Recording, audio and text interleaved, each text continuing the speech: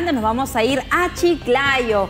Vamos a eh, eh, compartir con todo el país y el mundo estas imágenes que se han registrado en la ciudad de Chiclayo. Miren bien, mira cómo esta camioneta termina arrastrando a una persona o la lleva delante. Mira, Gastón, mira, mira, mira cómo, la, cómo, cómo la, la, lleva y no frena en ningún momento. Les contamos que una peligrosa situación experimentó un vecino de Chiclayo al ser arrollado por un vehículo en el distrito de José Leonardo Ortiz. Todo se inició cuando un conductor impactó contra otra unidad estacionada. Ante lo ocurrido, el dueño del vehículo chocado salió a increparle al infractor lo que había hecho y lejos de detenerse, este sujeto enfiló contra la víctima que aferrado al parabrisas fue arrastrado por varias cuadras.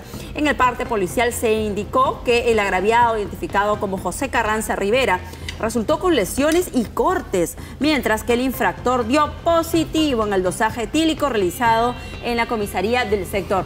Es decir, solo una persona bajo los efectos del alcohol podría eh, desarrollar esta maniobra tan peligrosa, tan salvaje. Mira cómo arrolla, el dueño sale a increparle, se pone delante de él para decirle y se lo lleva. Se lo llevó, se lo llevó. No le importa. Imagínate que el, agraviado se, se suelta porque por distintos motivos lo termina le pasa literalmente por encima, les pasa. Una camioneta no pesa 100 kilos, ¿ah?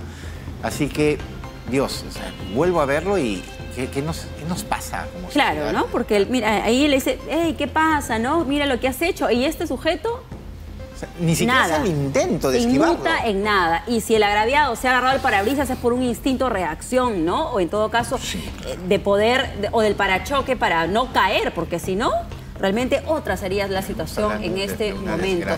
que se, que toda la contundencia, eh, Gastón, de la sanción contra este sujeto que bien ha podido causar la muerte de esta persona identificada como José Carranza Rivera. Atención entonces autoridades de Chiclayo con este infractor borracho al volante. Tremendo, tremendo. Bueno, seguimos en el norte nosotros. Vámonos a...